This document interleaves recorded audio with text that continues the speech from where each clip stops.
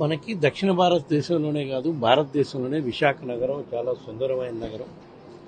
అందుకనే మా రాష్ట్ర ప్రభుత్వం కూడా విశాఖ నగర అభివృద్ధికి అన్ని విధాలా కట్టుబడి ఉందని ఈ మధ్యకాలంలో గత రెండున్నర సంవత్సరం నుంచి విశాఖలో రోడ్లు ఏ విధంగా అభివృద్ధి చేశాము గ్రీన్ బెల్ట్ ఏ విధంగా అభివృద్ధి చేశాము ట్రాఫిక్ సీజ్ చేయటం ఫ్రీ చేయటం కోసం ఏ విధంగా సిగ్నల్స్ దగ్గర ఏ విధంగా ఏర్పాట్లు చేశామనే దానికి ఇవన్నీ నిదర్శనాలు. ఈ మధ్యకాలంలో బీచ్ రోడ్డుకి బీచ్ రోడ్ని చాలా సుందరంగా అందంగా తీర్చిదిద్దటం వల్ల ఈరోజు బీచ్ రోడ్లో సాటర్డే సండే వచ్చిందంటే ప్రజలతో బీచ్ రోడ్లో ట్రాఫిక్ జామ్ అయ్యే పరిస్థితి వచ్చింది. అందుకనే విశాఖని పర్యాటకుల డెస్టినేషన్గా హబ్గా తయారు చేయడం కోసం మా ప్రభుత్వం అన్ని చర్యలు తీసుకుంటుంది. అదేవిధంగా రియల్ ఎస్టేట్ రియల్ ఎస్టేట్ రంగం కూడా మరీ ముఖ్యంగా ఎఫర్డబుల్ హోమ్స్ బిల్డ్ చేసే కాన్సెప్ట్ డెవలప్ చేయడం కోసం బిల్డర్స్ కూడా అన్ని విధాలా ప్రభుత్వ ప్రభుత్వ సైడ్ నుంచి కూడా సహకారం అందించే కార్యక్రమం కూడా చేస్తామని చెప్పి ఈ సందర్భంగా తెలియజేసుకుంటున్నాం.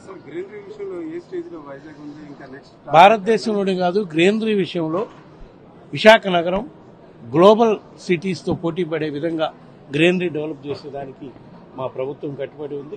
అందుకు అధికారులు తగిన చర్యలు తీసుకునే కార్యక్రమం కూడా మొదలు పెడుతున్నారు అందులో భాగంగానే ఈ మధ్యనే టెర్రస్ గ్రీనరీ కాన్సెప్ట్ కూడా ఇంట్రడ్యూస్ చేసి బిల్డర్స్ అందరితో కూడా ఆ కాన్సెప్ట్ని ప్రమోట్ చేయడానికి ప్రభుత్వం అధికారులు అన్ని చర్యలు ఉంటుంది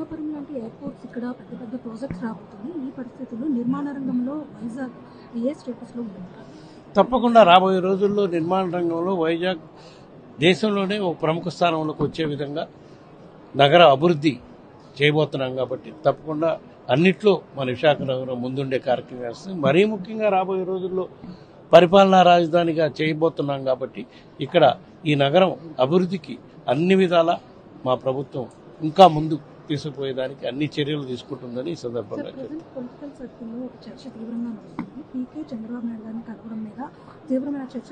ఏ పీకే? మా ఇక్కడ ఆల్రెడీ ఒక పీకే ఉన్నాడు. ఇప్పుడు కొత్తగా ఇంకో పీకే ఏంటి? ఎవరైనా? ప్రశాంత్ కిషోర్. కానివ్వండి ఇంకో పీకే కానివ్వండి ఎవరితోనైనా ఎవరైనా గెలవనివ్వండి. ప్రజలు గత నాలుగు సంవత్సరాల ఎనిమిది నెలలు ఏ విధంగా ప్రభుత్వం పాలన సాగింది? ముఖ్యమంత్రి గౌరవ ముఖ్యమంత్రి జగన్మోహన్ రెడ్డి గారి నాయకత్వంలో.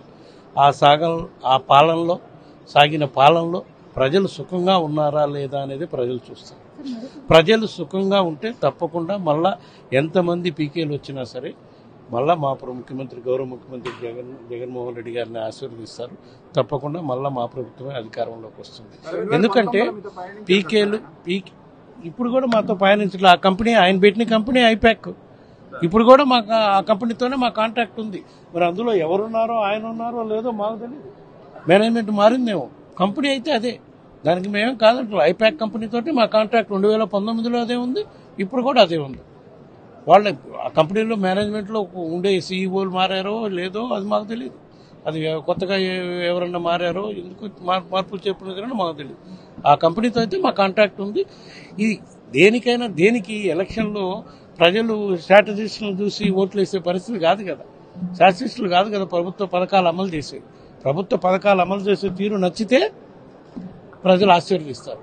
ఎందుకంటే రెండు వేల పద్నాలుగు నుంచి పంతొమ్మిది దాకా ఏపీకేలు ఉంటే చంద్రబాబు నాయుడు గారు ఏ పథకాలు అమలు చేయలేదని ఆయన ప్రజలు తిప్పికొట్టారు.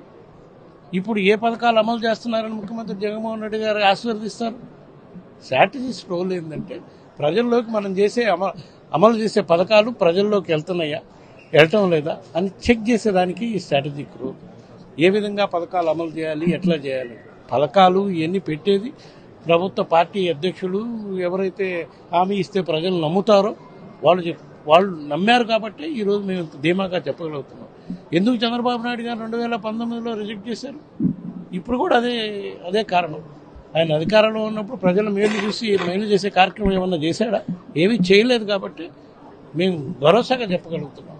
రాబోయే ఎంతమంది పనిచేసినా ఏ స్ట్రాటజిస్ట్ పనిచేసినా రాబోయేది మా ప్రభుత్వం.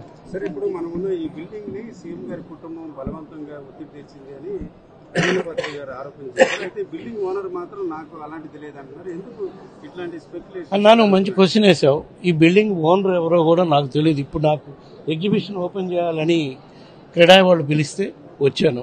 ఇక్కడికి వచ్చినావు నేను నువ్వు క్వశ్చన్ వేసావు. అది నేను ఈరోజు పేపర్లో కూడా చూశాను. ఈ బిల్డింగ్ ఓనరు గాదిరాజు రాజు గారని గత మూడు నాలుగు సంవత్సరాల కింద కూడా మంచి ఆధ్యాత్మికంగా భక్తి ఉండే ఆయన. నా దగ్గరికి వచ్చాడు. నేను టీటీడీ చైర్మన్ ఉన్నప్పుడు. విశాఖపట్నంలో గవర్నమెంట్ దీంట్లో స్థలం ఏదన్నా ఇస్తే వంద కోట్ల రూపాయలు పెట్టి వంద అడుగుల వెంకటేశ్వర స్వామి విగ్రహం పెడతానని వచ్చాడు పాపం. నేను కూడా నిజంగా ప్రయత్నం చేస్తే అదేదో వేరే కారణాల వల్ల ఇదేమి అట్లాంటి ఆయన నిన్న ప్రెస్లో ఏం చెప్పాడో చూసాం ఇప్పుడు నేను ఇక్కడికి వచ్చాను కదా నేను కూడా ఈ బిల్డింగ్ కబ్జా చేస్తానని రేపు ఇంకొకరు చెప్తారు. ఇవన్నీ కుటుంబంగా జగన్మోహన్ రెడ్డి గారి మీద ప్రత్యక్షంగా ఏమి చేయలేక కుటుంబ సభ్యుల్ని బజార్కి ఇచ్చి కుటుంబ సభ్యుల మీద ఈ విధంగా దుర్మార్గపు ఆరోపణలు చేస్తే ప్రజలు చూస్తూ ఊరుకోరు. చట్టం తన పని తాను చూసిపోద్ది. నేను కలెక్టర్ గారికి సంబంధిత అధికారులకు కూడా చెప్పాను. ఎవరైతే ఈ విధంగా అధికారులను దుష్పర్షాలాడుతూ స్టేట్మెంట్ ఇచ్చారో తెలుగుదేశం నాయకుడు ఎవరో అతని మీద defamation case criminal case file చేయమని కూడా చెప్పడం ఆ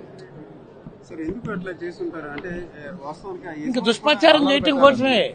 కలెక్టర్ అందుకేనమ్మా మున్సిపల్ అధికారులు జాయింట్ కలెక్టర్ని అందరినీ ఎందుకంటే ఏ విధంగా ముఖ్యమంత్రి గౌరవ ముఖ్యమంత్రి జగన్మోహన్ రెడ్డి గారు ఆయన అమలు చేసే పథకాలు ఆయన అమలు చేస్తున్న పాలన ఆయన పరిపాలిస్తున్న తీరుకి డైరెక్ట్గా ఏమి చేయలేక బదనాం చేయాలి ఏ విధంగా దానికి కుటుంబ సభ్యులను లాగాలి.